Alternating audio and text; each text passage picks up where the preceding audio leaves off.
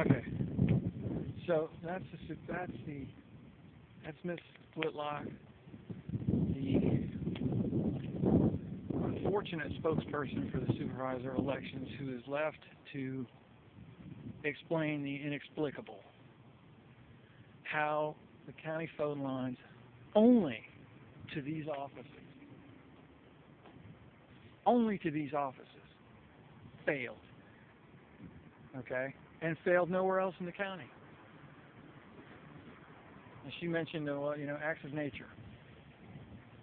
Okay?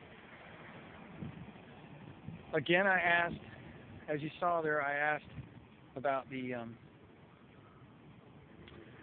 I asked about the, uh, you know, what if? What if they can't fix this? Well, we'll just, we'll put the votes in bags just like we did. And I asked about chain of custody. Again, Julie, Julie wasn't here, okay, yesterday at 4:45, and now she's in a meeting, probably training that they all seem to engage in. You know, it's not reasonable to assume that the phone lines in this building would fail, okay? And that the phone lines in this building, right across the street, would not. Nor the phone lines in that building down there. These are different warehouses here. This is a HCA warehouse over here. Now that phone line would would be just fine, and for some reason, huh, this phone line would go down. And when I, when you ask, you know, when you say, "Hey, what's the deal?" Oh, you know, come on. What do you need a tinfoil hat? You know. So here, I'm going to go in here and ask if last Tuesday their phone lines went down. Last Tuesday, somewhere around 7 o'clock at night. Let's find out what happened. Because these obviously are on the same phone system. I mean, would they be? I don't know. Okay, so let's suppose only these offices are on a county system. Okay? And these are on a different system. It still doesn't make any sense. And again, this is a day later.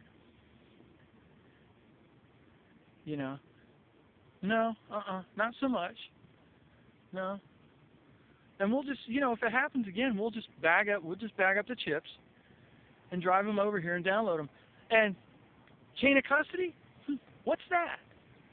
What, you know, well, you know, sure. They're sealed. They have a number on them, see?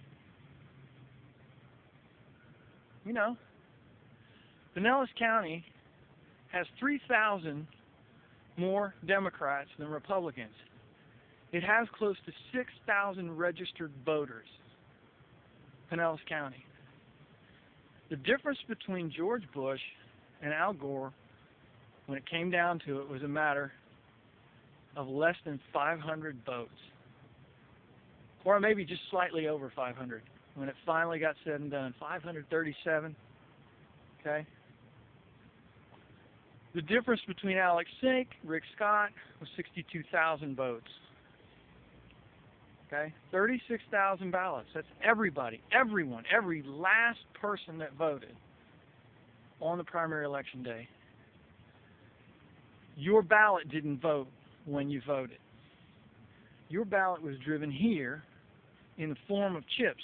Now, she said again, she's having an argument with me about whether a chip is a ballot. A chip's not a ballot. No.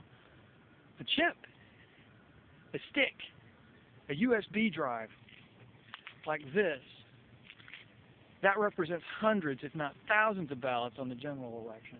Okay, I'll chat back with you.